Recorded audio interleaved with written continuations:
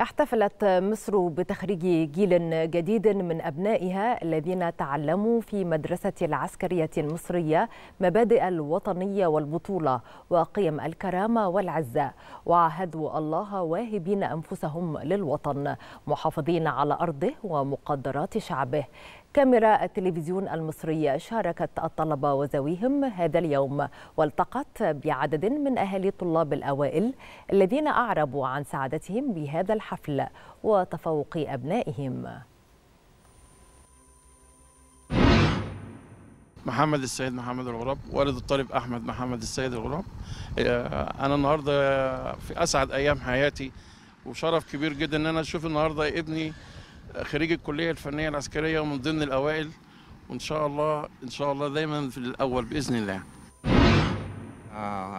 أحمد محمد السيد محمد الغراب طالب الكلية الفنية العسكرية ومن أوائل الدفعة.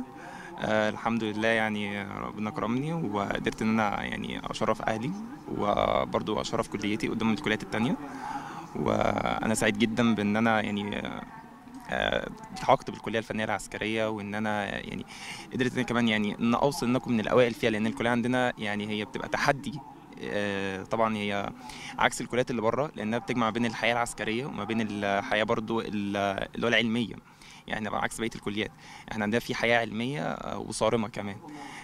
فإن الواحد فيها يعني يقدر يحافظ على الشقين دول وينجح فيهم دي بتبقى حاجة طبعا يعني كبيرة قوي يعني. فأنا كل فخر الصراحة وبشكر جدا يعني كل أساتذتي وكل إيه اللي يعني ساهموا في تكوين شخصيتنا وإن هم وصلونا للمستوى اللي إحنا فيه ده.